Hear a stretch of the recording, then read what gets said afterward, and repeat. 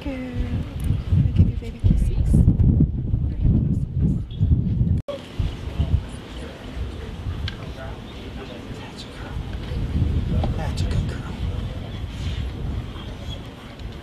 Girl.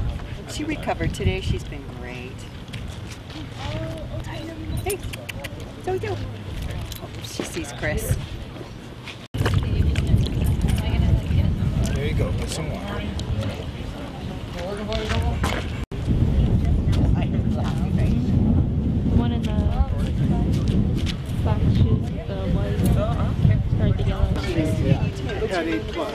She lost some in I interest. know the last name, but I didn't know In utero, excuse me. And, And that's funny that you're before your dog, I mean, the cat. Uh, oh, the ones that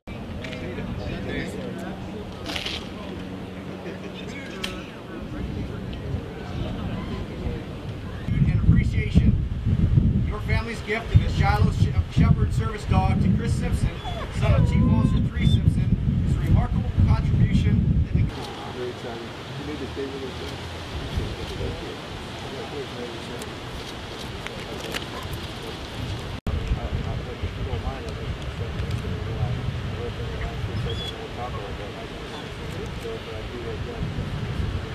selfless service, but we're truly humbled by your, your tangible and powerful example of selfless service. So It's, it's a tremendous, uh, powerful thing, and I, I mean, honestly, I'm, I'm kind of uh, overwhelmed right now uh, by this, and uh, words cannot really. I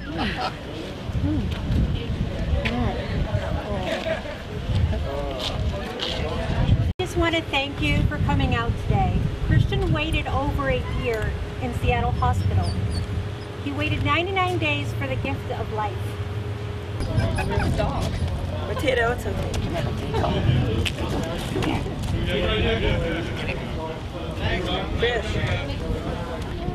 the pretty puppy.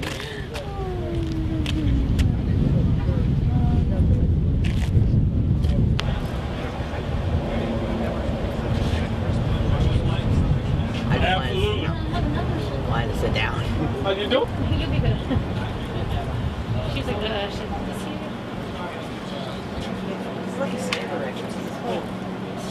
states for I think four years, and he fought to get his uh, his handling dog back to the states. heard about that. I'm Shannon Simpson. I'm Chris's mother. I'm here today because my son last year had a heart transplant in Seattle, Washington. Chris and Jim My thing is, I'm always brought down Zoe and Potato to donate to Christian. Zoe helped Chris get through a difficult part of his life. He was depressed and didn't speak to anybody. But when he met Zoe, that all changed. Christian would see Zoe on a weekly basis. And when Chris would hit a bad patch during the week, I would tell him that if he made it through the next week, he got to see Zoe again. It did help him out a lot. It did. He won't be invisible anymore. Chris normally wears a mask on his face. And he wears the mask so he doesn't get sick with germs from other people. So then people shy away because they think he's sick. So having this dog will allow him to be more approachable for people to ask him why he's wearing the mask. Well, it was a long year, and Christian had a lot of bad experiences because he was there so long. Seattle Children's Hospital is for younger children, and because Christian was older, things were not always as what they should have been. Um, he struggled um, with um, friends because there was no friends because we just PC up to Washington. So there was nobody for him, nobody in the hospital his age. Um. I'm definitely glad that we met Cap Jim because if it wasn't for them, I wouldn't have had anybody or anything for him to look forward to. He never got to see his dad because he wasn't allowed uh, to be at the hospital due to work. Um, so Chris was alone most of the time. It was just me and him, and yeah, he gets tired of seeing me. He's a teenager. Now he has Potato. Next year, he will be starting school with Potato. She will actually have a student ID. Sure, my name is James Skoor. Well, the reason we came here today was because of the life of a little boy. Uh, well, it's not so little. Uh, who we met at uh, Ronald McDonald House in Seattle, where my wife and I both volunteer uh, as, ther- as therapy dog handler teams. Um, we met Chris about a year ago and uh, with his family, and it was uh, an instant connection, pretty much. Uh, not only because of the fact that uh, Chris, uh, our dog, who Zoe, who's uh, incredibly intuitive and ne- knew that Chris needed her touch, but because of my military connections and past military service as well. Um, Chris was an incredibly sick little boy. Uh, if you can imagine uh, a young man that's had three heart transplants in 16 years, uh, that in of itself takes a tremendous toll on the family. Uh, not only on the family, but on Chris. And uh, uh, when you toss in the fact that you have military service that is uh, a requisite as well, uh, it brings that factor into play and it makes it even more difficult because the father can't be there all the time when his son needs him. Chris uh, fell in love with our, our, our dog Zoe. Uh, my wife is Zoe's uh, handler. Uh, and on a weekly basis when we were down there, uh, Chris, even it didn't matter how, how sick Chris was at the time, Chris would find the energy to come down and be with Zoe.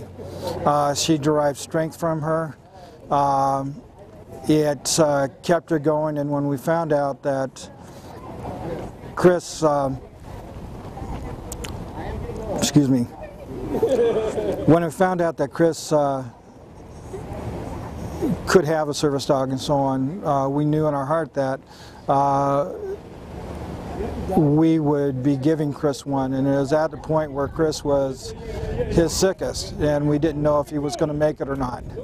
It gave him focus and it gave him drive uh, to pull through his third and last heart transplant. Uh, up until today, where uh, he's been planning from before she was born that she would be his and uh, would be uh, was collecting toys and things for her all along the way. Um, we're incredibly honored to be able to do this for him. Well, it's really very humbling. I, I'm usually a guy that works in the background and makes things makes things happen. Was that way when I was a staff sergeant too. Um,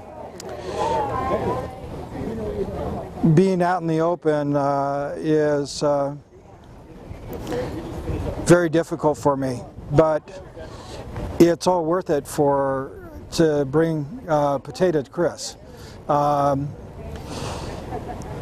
it's something that she's going to be with him as a companion, but not but much more than a companion, the rest of her life. Um, she's going to be a helpmate to him as he goes through and grows and continues on with his struggles. And there will be struggles later. So uh, this will help him face those struggles. Well, the puppies were born just shy of St. Patrick's Day. So we had Angus, Maggie, the last one, last one we took a poll on uh, Facebook and everybody says it should be potato. Well, it was a joke, but it stuck. uh, and uh, we got a, a, video clip from uh, Chris's mom a little while back. She says, "What's your dog's name going to be? Potato. What's your dog's name going to be? Potato." So, potato it is. But her um, registered name is uh, Rain City's uh, tribute to courage, which, as I said earlier, is a um, tribute to him, his family, and the Corps. It's been over 30 years since I've been on a military installation, so it's a little bit overwhelming.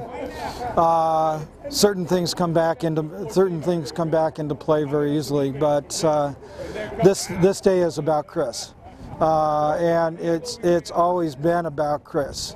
Um, it could have been an open field, for all I care for the reason that we brought this puppy to him. Um, it's to help him through his life, and I know that this puppy will. So that means a great deal to us as far as, as helping. We've always been a family that wants to give back to the community, but we also want to give back to those that are close to us. And if we make a difference for not only, and we can make the connection of military, family, and friends, so much the better.